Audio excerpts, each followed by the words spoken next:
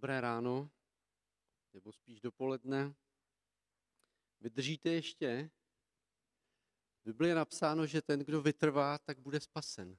Kdo vytrvá až do konce. Takže vytrvejte, prosím.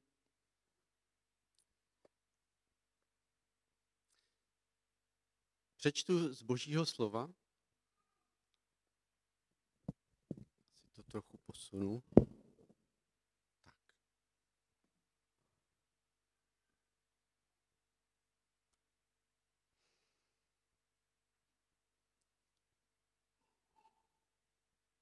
Budu číst z knihy Exodus eh, z 15. kapitoly.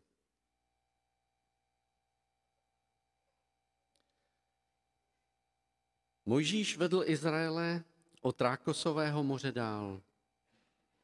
Vyšli na poušť Šůr a táhli pouští po tři dny, aniž narazili na vodu. Došli až do Mary, ale nemohli vodu z Mary pít, protože byla hořká.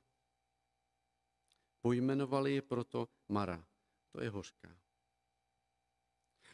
Tu lid proti Mojžíšovi reptal, co budeme pít. Mojžíš úpěl k hospodinu a hospodin mu ukázal dřevo. Když je hodil do vody, voda zesládla. Tam dal hospodin lidu nařízení a právní ustanovení a podrobil jej tam zkoušce. Řekl, jestliže opravdu budeš poslouchat hospodina svého Boha, dělat, co je v jeho očích správné, naslouchat jeho přikázáním a dbát na všechna jeho nařízení, nepostihnu tě žádnou nemocí, kterou jsem postihl Egypt. Neboť já jsem hospodin, já tě uzdravuji. Pak přišli do Elimu. Tam bylo dvanáct vodních pramenů a sedmdesát palem. Tam při vodách se utábořili. Pak vytáhli z Elimu celá pospolitost Izraelců přišla na poušť Sín, která je mezi Elimem a Sinajem. 15. den druhého měsíce poté, co vyšli z egyptské země.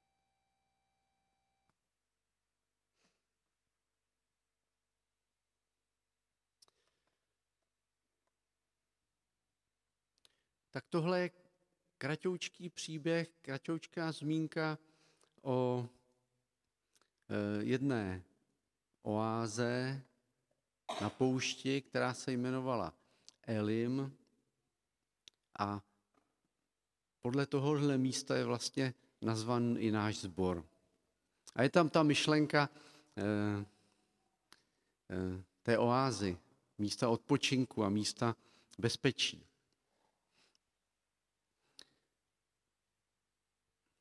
A já bych dnes chtěl ještě o tom mluvit. Chtěl bych, se, chtěl bych se vrátit k tomu, že my jsme vlastně před třemi týdny oslavovali 30. výročí existence sboru.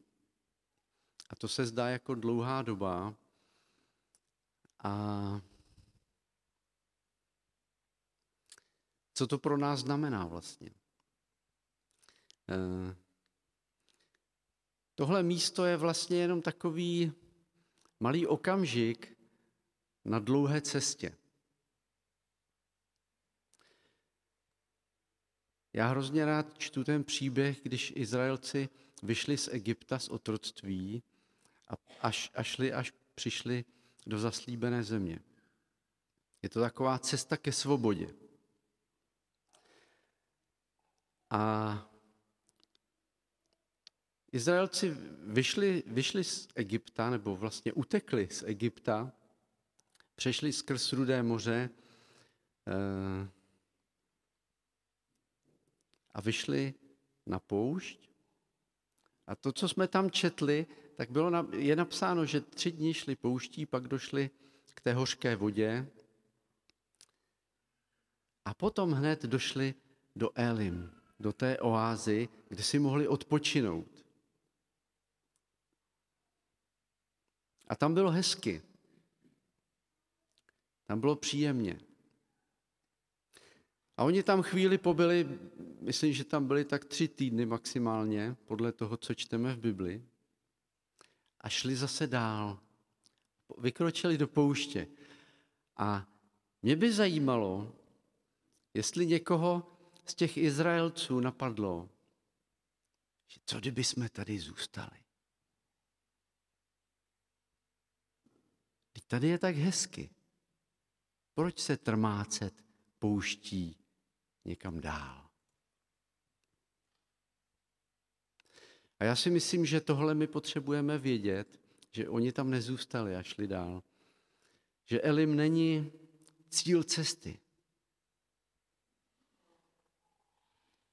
Elim není cíl, to je jenom malá zastávka na cestě. A je to vlastně na začátku cesty. Oni měli ještě těch 40 let před sebou teprve, než došli do zaslíbené země. Jenom krátká zastávka. A možná někdo sem do toho sboru chodíte už 30 let, nebo jste sem přišli před třemi týdny, nebo jste tady poprvé. A možná se vám tady líbí a to je dobře, přijďte zase. Ale to chci říct, že to není cíl cesty. My jdeme do zaslíbené země. Tou zaslíbenou zemí je nebe. A naším úkolem není zestárnout v Elimu, ale dojít do zaslíbené země. Tam je náš cíl.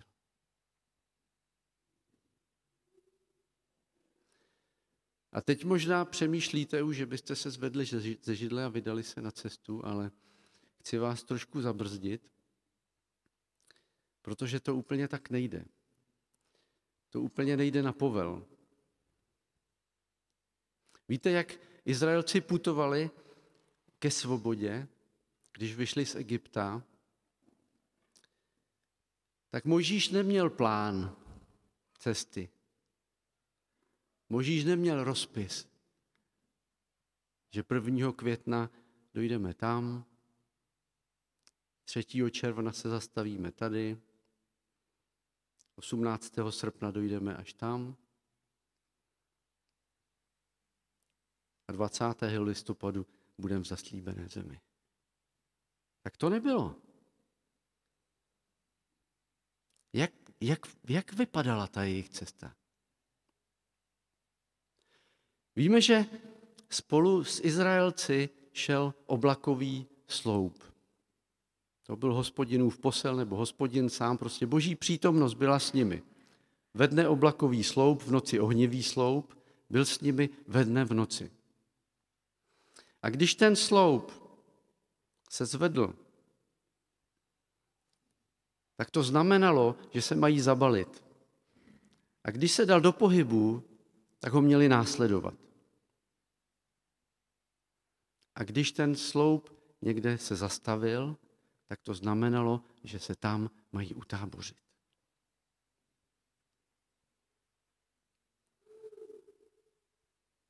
Takže oni neměli, oni vlastně nevěděli, jak přesně půjdou. A to je zajímavé, když si představíte, že třeba někdo přišel za Mojžíšem a ptá se ho, Mojžíši, jak dlouho tady ještě budeme trčet? A Mojžíš řekl, nevím. A Mojžíši, kudy půjdeme? Nevím. A Mojžíši, kdy už tam budeme? Nevím. Je to takový zvláštní luxus nevědět. Já nevím, jak to prožíváte, když něco nevíte. Víte, my jsme, my jsme tlačeni k tomu, že máme mít odpověď na každou otázku. Zvlášť, jestli někdo stojíte v nějaké autoritě, v nějaké zodpovědnosti. Tak možná máte pocit, že potřebujete vědět věci a potřebujete vždycky mít odpověď. A Možíš ji neměl. Neměl na všechno odpověď. Ale jenom to věděl, že tady oblakový sloup a je třeba se na něj dívat. A když se pohne, tak je třeba ho následovat. Takže sice nevěděl, ale byl v klidu. Protože důvěřoval, že Bůh se zvedne v pravý čas a půjde tím správným směrem. nepotřeboval vědět, kdy to bude, ale jenom potřeboval sledovat, aby tu příležitost nepropásl. Že až se ten oblak zvedne, aby náhodou nezaspal a nezůstal někde v poušti sám, bez Boha. A ty Izraelci měli docela výhodu, že měli ten oblakový sloup, takže prostě viděli a věděli, kdy mají vyrazit na cestu a kam mají vyrazit. A co my? Podle čeho se máme řídit? Já myslím, že my jsme na tom úplně stejně. Tehdy ten oblakový sloup to byla boží přítomnost. A my přeci máme také boží přítomnost. Je napsáno, že boží duch přebývá v nás. Možná ho nevidíme tak před očima, ale je tady. Ve dne i v noci. A někdy se zvedne a pohne se. A my se potřebujeme pohnout taky. A někdy se zastaví a je na místě. A my se potřebujeme utábořit.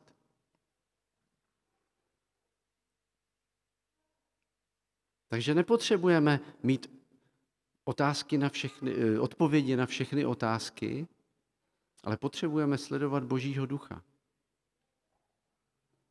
Kam jde a kudy jde. A máme ho následovat. Takže jsme na tom úplně stejně jako Izraelci. Jsme na cestě do zaslíbené země. Jsme na cestě do nebe a potřebujeme nějaké vedení. Potřebujeme vidět, kudy jít a kdy a jak jít. A já bych chtěl ještě trošku víc přemýšlet o té cestě, protože na té cestě, když si vybavíte ten příběh Izraelců, tak tam jsou taková roz, různá období nebo různé situace, kterými procházeli. A stojí za to o nich přemýšlet. Tak to první hned na začátku. Když Izraelci prošli Rudým mořem a na tom když, když vyšli, vyšli skrz tu vodu a vyšli na, na břeh, otočili se a za nimi je pronásledoval egyptská armáda. A Bůh nad tou armádou zavřel moře. Takže Izraelci prožili takové úžasné nadpřirozené vítězství.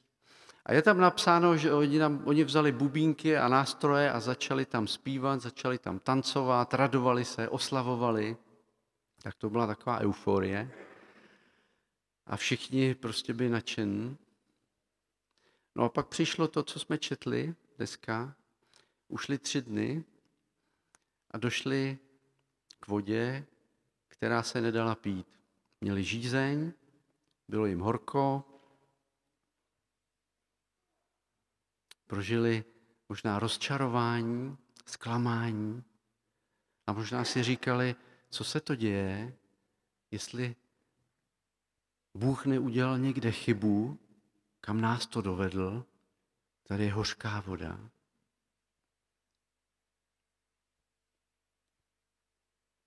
Já bych chtěl připomenout jedno podobenství, které eh, říkal Ježíš o mnoho let později, než se stal tenhle příběh. A eh, je to podobenství o rozsévači. Já nechci číst eh, celé to podobenství, nás tam zajímá jenom jedna věc. A přečtu kousek aspoň. Ježíš vyprávěl zástupům. Vyšel rozsévač rozsévat. A když rozséval, Padlo některé zrno podél cesty a přiletěli ptáci a sezobali je. Jiné padlo na skalnatou půdu, kde nemělo dost země a hned vzešlo, protože nebylo hluboko v zemi. Ale když vyšlo slunce, spálilo je a protože nemělo kořen, uschlo. A podobně ti, u nichž je zase to na skalnatou půdu, ti slyší slovo a hned je s radostí přijímají. Nemají však v sobě kořen a jsou nestálí. Když pak přijde tíseň nebo pronásledování pro to slovo, hned odpadají. Ježíš tady vystihl jednu věc, eh, kterou možná dobře vidíme na, na, na tom příběhu Izraelců, eh, když vyšli do pouště a došli k té hořké vodě.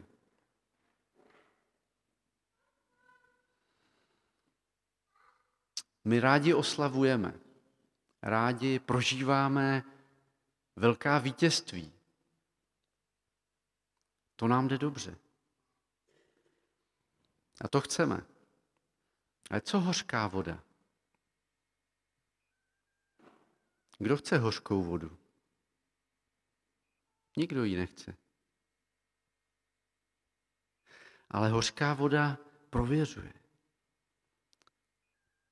Hořká voda ukáže, jestli to myslíme vážně.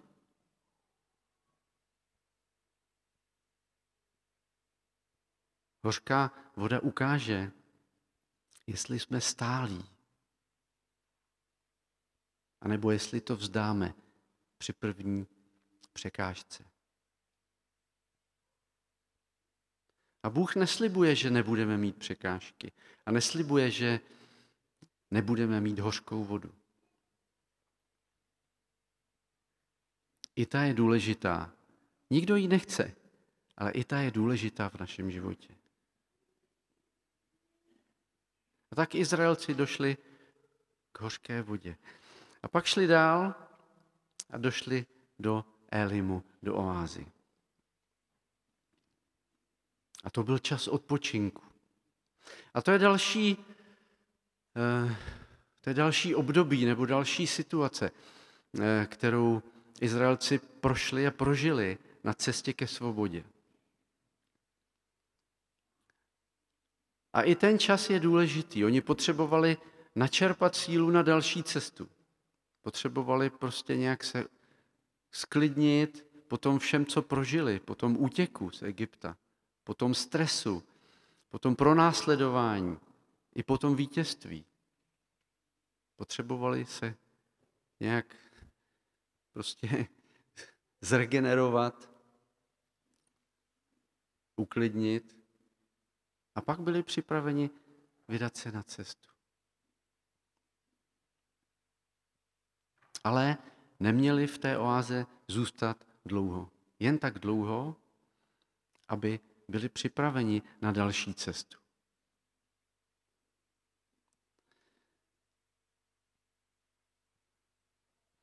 A možná, že zase tam, tam byl, byla nějaká změna, byla tam, bylo tam nějaký předěl, kdy oni z té oázy, tam, kde se jim líbilo, kde se jim prostě dařilo dobře, kde se cítili pěkně, tak zase museli vykročit někam do neznáma. Vykročit někam, kde to není úplně pohodlné, kde to není příjemné. Ale prostě byli na cestě. A možná i my máme někdy takový pocit, že bychom nejraději zůstali v té, v té situaci, která se nám líbí, v té situaci, kde, kde se cítíme dobře. Uh, a možná jenom jedna taková, uh, třeba jedno období v životě, které mnozí z vás jste prožili, když jste odevzdali svůj život Bohu. Obvykle to člověk prožívá takže eh, na začátku našeho života s Bohem je taková zvláštní boží péče. Jako kdyby, eh, když se člověk narodí do božího království, tak je takové duchovní miminko a Bůh o něj pečuje. A zahrnuje ho prostě blízkostí a péčí a láskou, jako když maminka chová miminko pořád ho drží u sebe a potom to miminko trochu po, povyroste a ona ho vezme a postaví ho na nožičky, aby šlo samo. A co udělá dítě? Mami ve mně. Nechce se mu. A možná, že my někdy prožijeme taky, nebo prožili jsme takovou změnu. Že jsme měli takový, také období v boží blízkosti, Bůh o nás pečoval a najednou to přestalo. A možná přišla pochybnost, že co jsme udělali špatně. Nebo kam, kam zmizel Bůh najednou? Už necítíme tu blízkost? Jako kdyby se ochladilo? Ale to patří k životu. My rosteme do dospělosti i v Božím království. Rosteme do dospělosti, nemůžeme zůstat miminka celý život. A tak možná někdy prožijeme takovou, jako kdyby se nám trochu Bůh vzdálil, ale to nevadí, to je v pořádku. A pojďme dál, pojďme na další místo na cestě. A to je ta poušť. Už jsem mluvil o tom, jak, jak cestovali Izraelci po poušti. Že když se zvedl oblák, tak se zbalili oni, kde se zastavil, tam se utábořili. A když si to představíte, tak oni vlastně víc tábořili, než putovali. Oni vždycky nějaký kousek ušli a pak se tam utábořili a tam byli několik týdnů nebo několik měsíců. A co tam dělali? Když nikam nešli. Byli na místě. A oni prostě normálně žili. Normálně žili. Ženili se, vdávali, vychovávali děti, rodili se, umírali, obstarávali si obživu. A to je taky zajímavá věc tou obživou. Oni vlastně eh, každé ráno sbírali manu, kterou jim Bůh poslal. A te, zkuste si to představit. Oni prostě ráno, když vstali, každé ráno, když vstali, tak šli a nazbírali manu, aby měli na celý den. To je taková docela nudná věc, nebo prostě taková všední věc. To je rutina. Další den vstali a šli sbírat manu. A další den vstali a šli sbírat manu. A další den vstali a nazbírali dvakrát tolik, protože to byl šestý den. A další den vstali a nezbírali nic, protože to byl sedmý den, to byl den odpočinku. A takhle to bylo pořád dokola.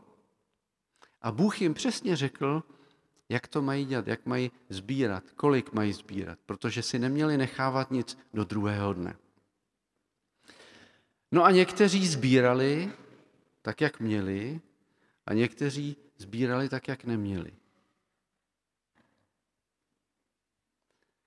A je napsáno, že tím uráželi hospodina.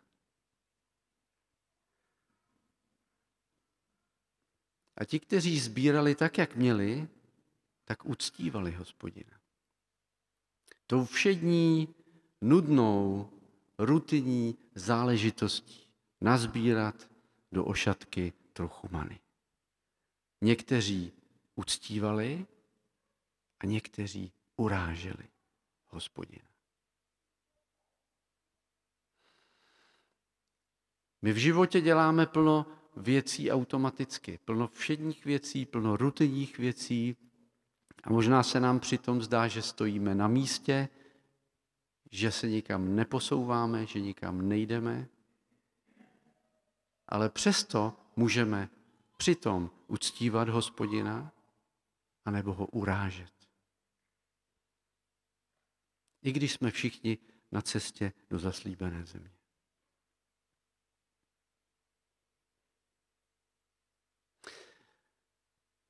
A to souvisí s jednou důležitou věcí. Na poušti. K čemu je ta poušť? Proč ta cesta? Dlouhá, složitá, těžká. Na poušti totiž musí umřít všechno, co se staví proti Bohu. Víme, že i u těch Izraelců vlastně zemřela celá ta generace, která vyšla z Egypta. A je napsáno, že poušť byla posetá jejich těly, protože zatoužili po zlém. A když si přečtete ty příběhy eh, těch 40 let, co všechno tam muselo zemřít. Neposlušnost, nespokojenost, nedůvěra, pícha, závist, touha po majetku, smilstvo. Plno věcí. Když čtete ty příběhy, ty to, to všechno muselo zemřít na poušti, aby byli vůbec schopní vstoupit do zaslíbené země. Víme, že první pokus nevyšel, že vlastně se museli vrátit, nebo nedopadlo to dobře, ani oni tam nechtěli vlastně ani. A až po 40 letech na podruhé byli připraveni vstoupit do zaslíbené země. No a to je vlastně další fáze nebo situace, období, a to je dobývání zaslíbené země. To také patří do té cesty ke svobodě. Oni nepřišli k Jordánu a, a neřekli, tak jsme tady. Oni museli dobít tu zemi. My máme různá zaslíbení od Boha, ale většinou je to tak, že do toho zaslíbení, že prostě musíme vstoupit a dobít to zaslíbení obsadit ho. A to, to také má nějakou, eh, to vyžaduje určitou námahu a určitý čas. Není to jen tak. A tak jsme prošli od Egypta až do zaslíbené země. Teď jenom tak v rychlosti. Samozřejmě ta cesta je ještě před námi. Ale to, to poslední, co chci říct a co je možná to nejdůležitější. Izraelci šli všichni spolu. Oni byli všichni na, jed, jaksi na jedné čáře. Ale u nás je to jinak. My každý z nás jsme jinde. Někdo jsme na poušti, někdo jsme v oáze, někdo jsme na začátku cesty, někdo jsme na konci cesty. A možná, že to Eh, vyvolá nějaké nedorozumění nebo napětí. Možná, že neporozumíme tomu, že někdo jiný je, prostě odpočívá teď a já se mám, já, já někde eh, prožívám sucho na poušti. Nebo někdo bojuje a obsazuje zaslíbenou zemi. A někdo teprve vykročil z Egypta. A tak to je prostě.